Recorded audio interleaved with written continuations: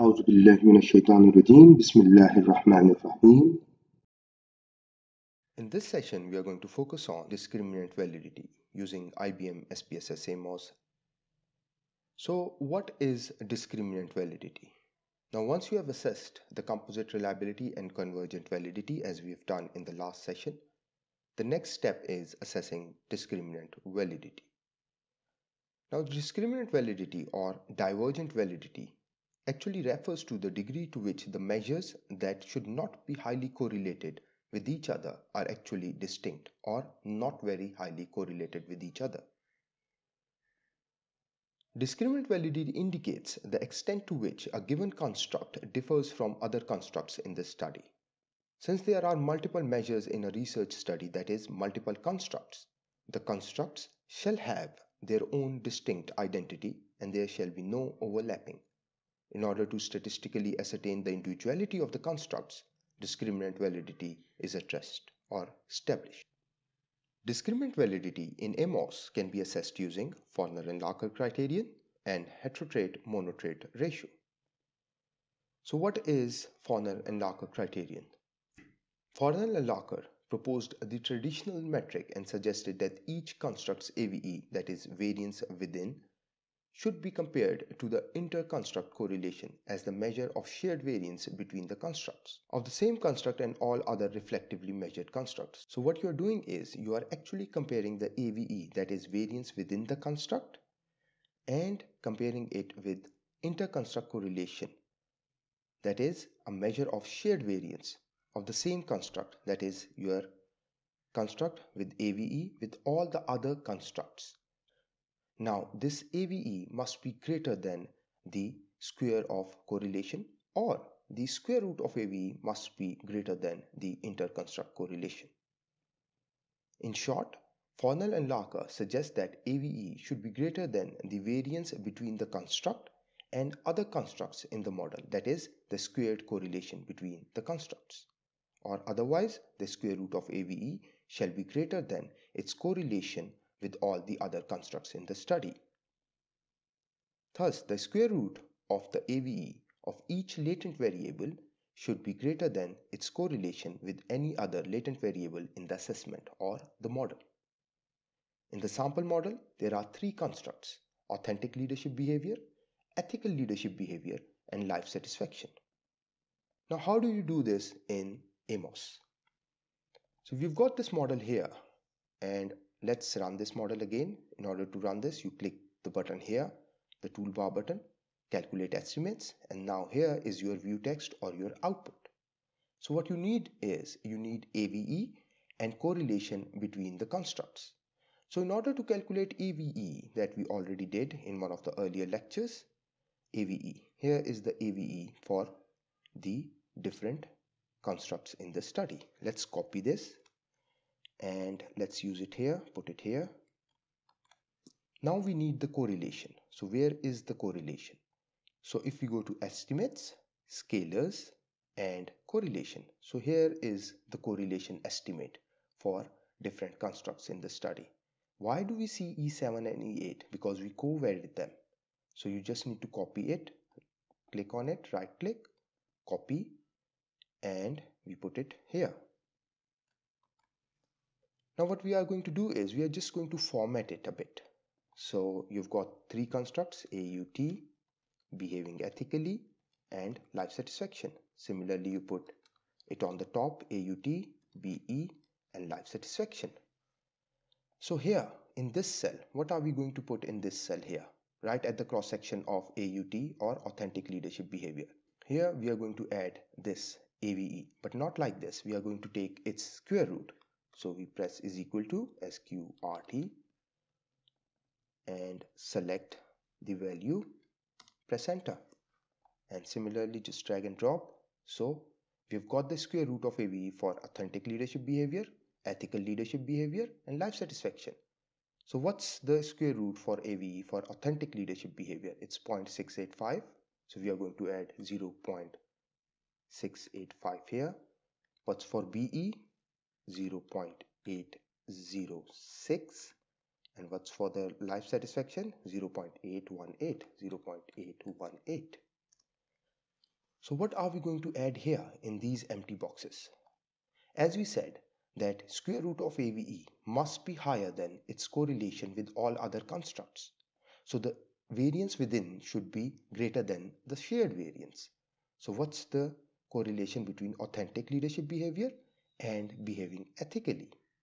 So the correlation is this 0.841. 0.841.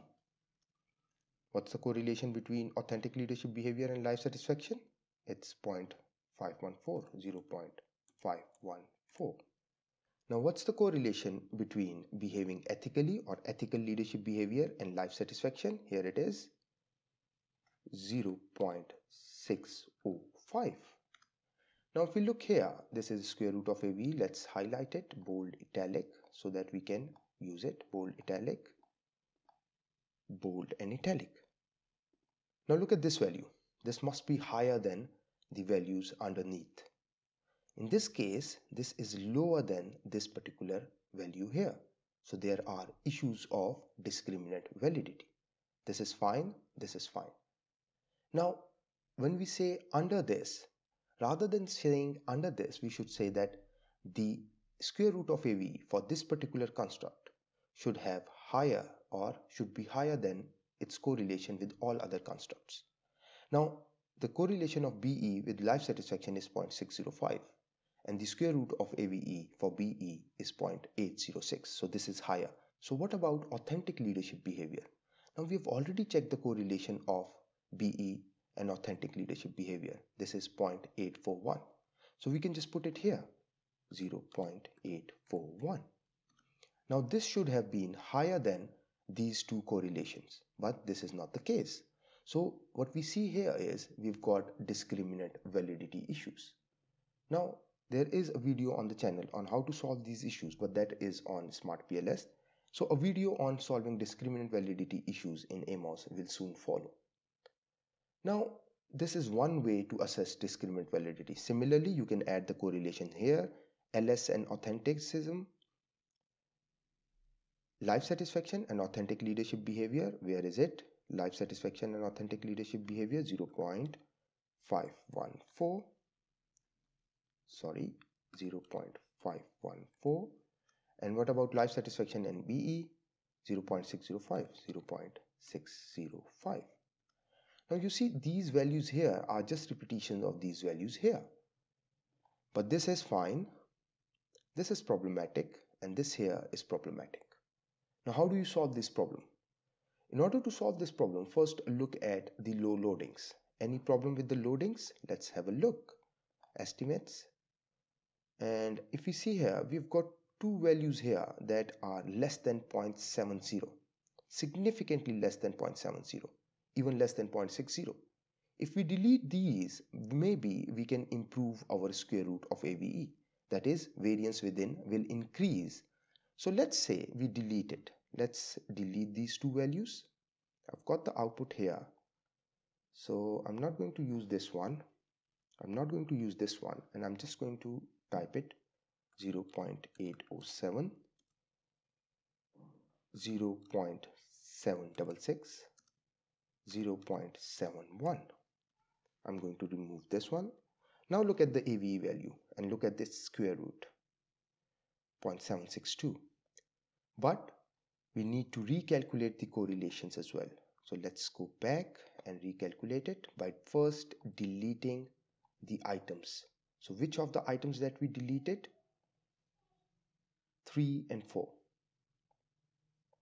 so what we'll do is we select this cross here to delete and we'll remove 3 and we'll remove 4 we need to remove the error terms as well just remove it and now run your model now look at this output, estimates, scalars, correlation.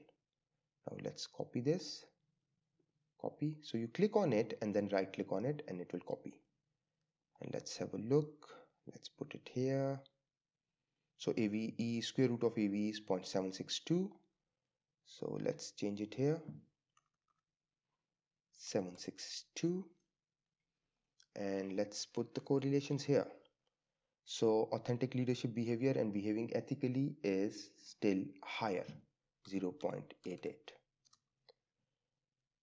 Authentic leadership behavior and life satisfaction is 0.548, 548.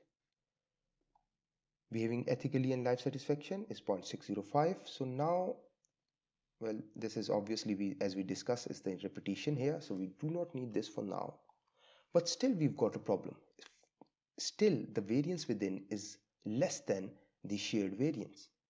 Now, the reason for this is that authentic leadership behavior and ethical behavior are actually the subdimensions of servant leadership that I've taken in my study.